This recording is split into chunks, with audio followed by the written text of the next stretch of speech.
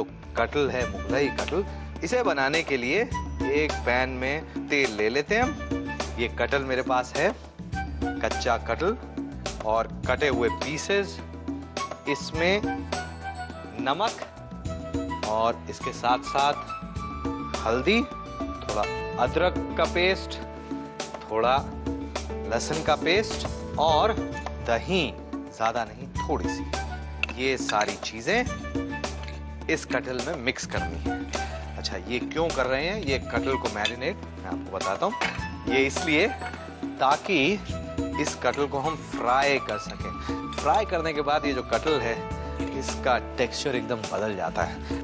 इसको हम फ्राई कर लेते हैं।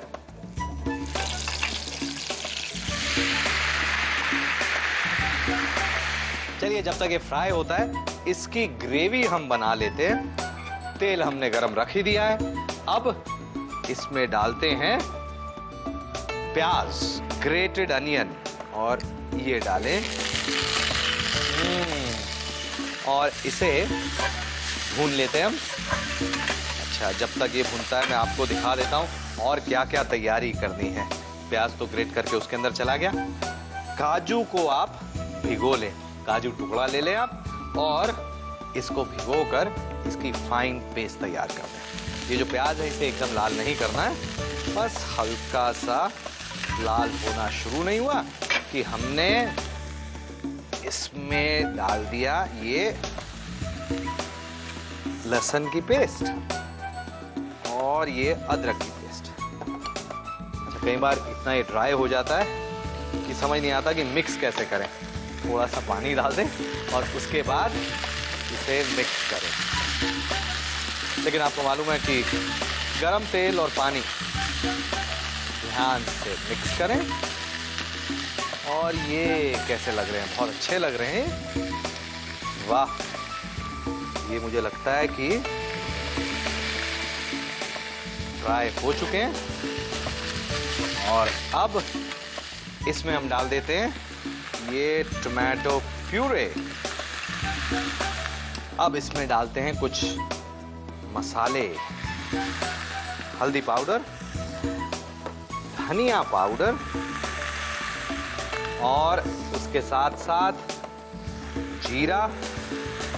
जब भी मसाले खासतौर से धनिया और जीरा जो है, आप घर में भी रखते हैं तो भून कर फिर उसे पीसते हैं। उसके साथ साथ गरम मसाला पाउडर। और तीखा करने के लिए लाल मिर्च। ये सारी चीज़ें डालने के बाद ये इसे कर दिया मिक्स और अब इसकी ग्रेवी में ये काजू की पेस्ट मुगलाई कटल बना रहे हैं तो थोड़े तो रिच होंगे लेकिन अगर इसमें से रिचनेस कम करनी है, आपको ये नहीं चाहिए काजू का पेस्ट तो उसके बिना भी काफ़ी अच्छा टेस्ट आता है इसका. इसमें डालते हैं दही. दही के साथ साथ नमक। नमक। वाह।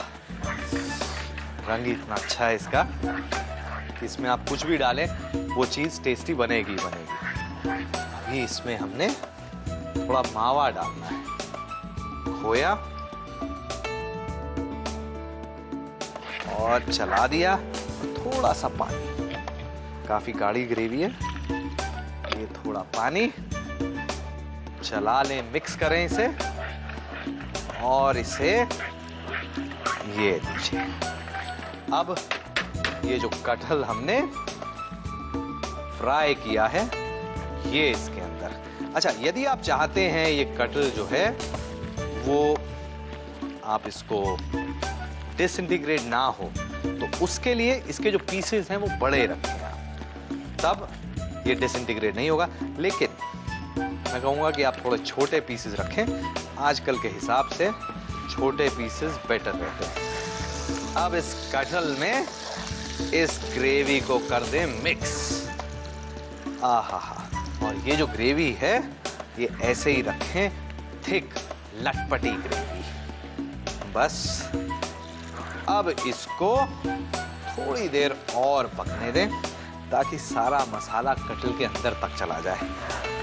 और उसके बाद इसमें कुछ नहीं करना, अपनी पसंद की रोटी, चपाती, पराठा कुछ भी बनाएँ और इस बढ़िया से मुगलई कटल को परोसें। गर्मा गर्म ठंडा होके मज़ा नहीं आएगा। लीजिए, ये हो गया बन मुगलई कटल तैयार। आप नोट करें इसके इंग्रेडिएंट्स और उसके बाद इसका एग्री कैप मुगलाई जैकफ्रूट के लिए चाहिए 500 ग्राम कटल कटा हुआ, नमक स्वाद अनुसार, आधा छोटा चम्मच हल्दी पाउडर, एक बड़ा चम्मच अदरक की पेस्ट, एक बड़ा चम्मच लहसुन की पेस्ट, तीन चौथाई कप दही, तीन बड़ा चम्मच तेल और तलने के लिए तेल, एक प्याज बारीक कटी हुई, एक चौथाई कप टमाटर की प्यूरे, एक बड़ा चम्मच हरा धनिया कटा हुआ, एक बड़ा चम्मच धनिया पाउडर, दो छोटे चम्मच जीरा पाउडर, एक छोटा चम्मच गरम मसाला पाउडर, एक छोटा चम्मच लाल मिर्च पाउडर, एक चौथाई कप काजू की पेस्ट और दो बड़े चम्मच खोया ग्रेट किया हुआ इसे बनाने के लिए कटल में नमक, आधा हल्दी पाउडर, अदरक की पेस्ट, लहसुन की पेस्ट और एक चौथाई कप दही डालकर इसे करीब 15 मिनट तक रख दें। अब एक कढ़ाई में तेल गरम करके इस कटल को सुनहरा होने तक तल लें और किसी किचन टावल पर निकाल लें ताकि इसका एक्स्ट्रा तेल निकल जाए। अब एक बर्तन में तेल गर्म करके इसमें प्याज की पेस्ट डालकर भूने। इसमें लहसुन की पेस्ट, अदरक की पेस्ट और थोड़ा पानी डालकर भून लें। अब टोमेटो प्यूरे हल्दी पाउडर, धनिया पाउडर, जीरा पाउडर, गर्म मसाला पाउडर और लाल मिर्च पाउडर डालकर मिलाएँ। इसके साथ काजू की पेस्ट डालकर इसे एक से दो मिनट तक भूने, अब बाकी बची हुई दही, नमक डालकर कुछ देर तक और पकाएँ और अब इसमें डालें खोया और पानी डालकर इसको उबलने दें। इसके बाद इसमें तला हुआ कटल डालकर कुछ देर तक और पकाएँ, धीमी आँच पर पकने दें और उसके बाद इसे परोसे गर्मा गर्म